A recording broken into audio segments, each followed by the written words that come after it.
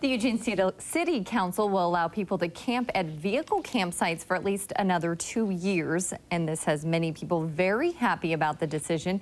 KEZI 9 News photo, photojournalist Jason Crow spoke with one person who benefits from the ordinance. We've been here almost three weeks now. We were over at the site on 14th and Chambers. Before that, we were at the Amazon swimming pool. We came out here from Minnesota because we had both got laid off from our jobs there. We came out uh, before my unemployment ran out, and then while we were here, uh, my unemployment ran out.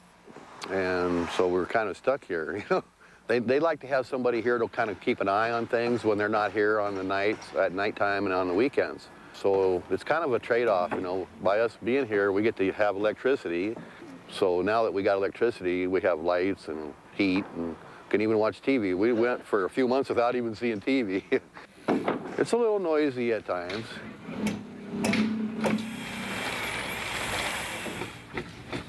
No big deal. I'm just The ordinance allows people to sleep in a vehicle, camper, or trailer in designated areas and under certain circumstances. This is the second time councilors have extended the ordinance.